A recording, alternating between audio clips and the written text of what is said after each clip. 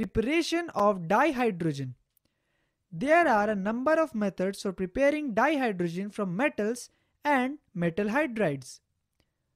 Let's learn about the laboratory preparation of dihydrogen. Number 1. It is usually prepared by the reaction of granulated zinc with dilute hydrochloric acid. Number 2. It can be prepared by the reaction of zinc with aqueous alkali.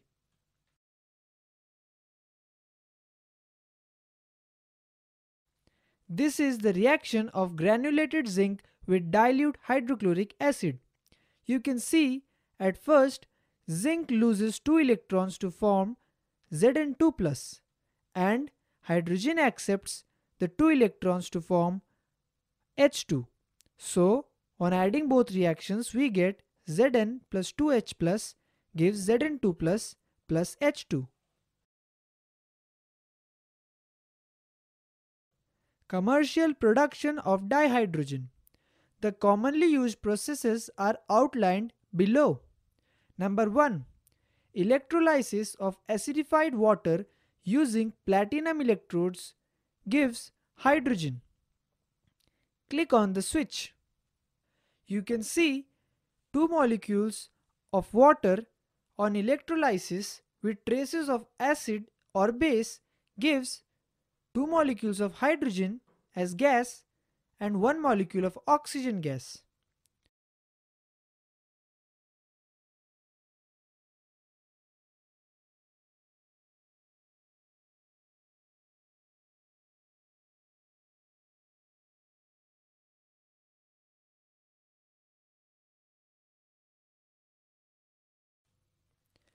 Number 2 high purity that is greater than 99.95% of dihydrogen is obtained by electrolyzing warm aqueous barium hydroxide solution between nickel electrodes. Number 3. It is obtained as a byproduct in the manufacture of sodium hydroxide and chlorine by the electrolysis of brine solution. During electrolysis, the reactions that take place are at anode, 2Cl minus aqueous gives Cl2 gas plus 2 electrons. At cathode, 2H2O in the liquid form plus 2 electrons gives H2 in the gaseous form plus 2OH minus in aqueous form. So the overall reaction is as shown.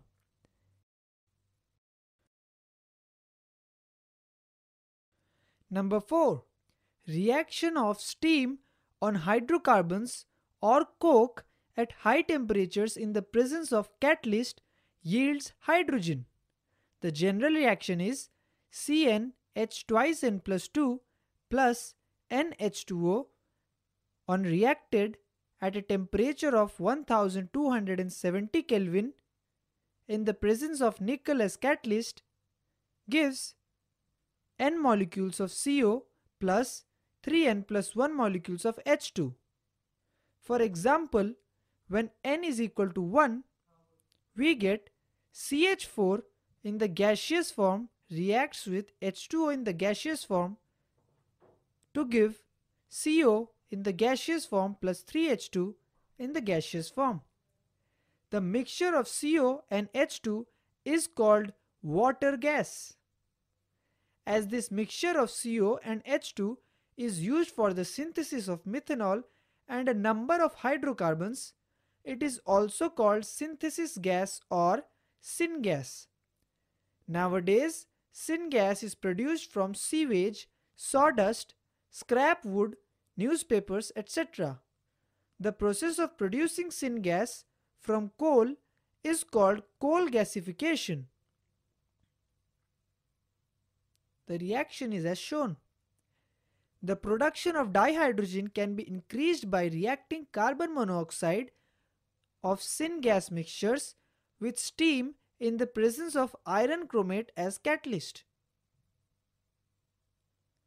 This is called water gas shift reaction.